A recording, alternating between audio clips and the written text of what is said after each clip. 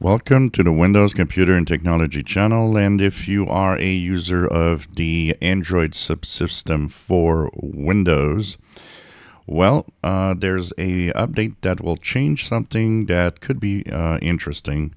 If you use apps where you can actually access files could be a PDF viewer for example that you can access files um, through of course of the file system in Android, of course, usually when an Android phone, for example, you have access to folders within the phone or the Android tablet.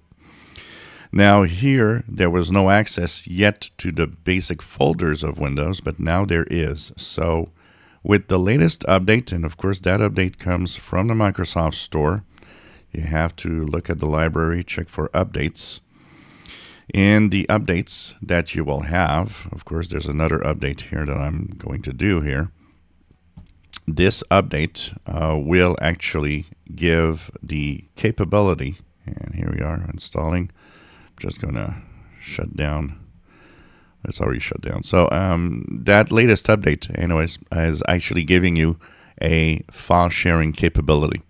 So if you have an app, for example, that is looking at um, maybe you need to upload photos, you know, like a, a profile picture, or you have a, an app like a PDF viewer that, you know, requires you to go and check out PDFs.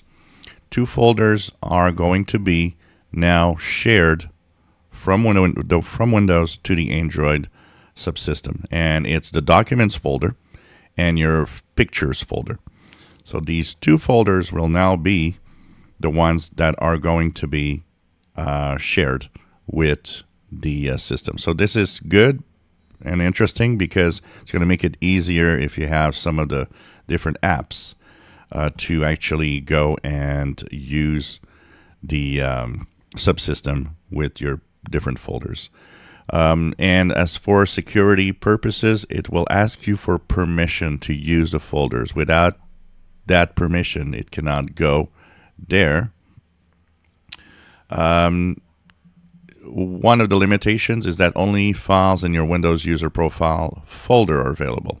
So you can't go to uh, other folders. You can't go through the different, uh, if, if there's a folder in a different um, user account, or even if you're trying to just go through the different folders of your system, it doesn't work.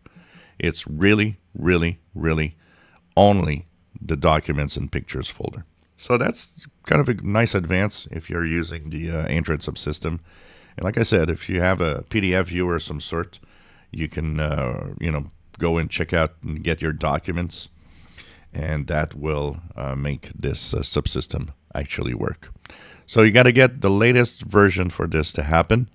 And if you are a user of the Android subsystem, I'm not, but I have to say that uh, since I've used the Android subsystem from the beginning when it was available, they have improved it a lot. It is much faster than it used to be.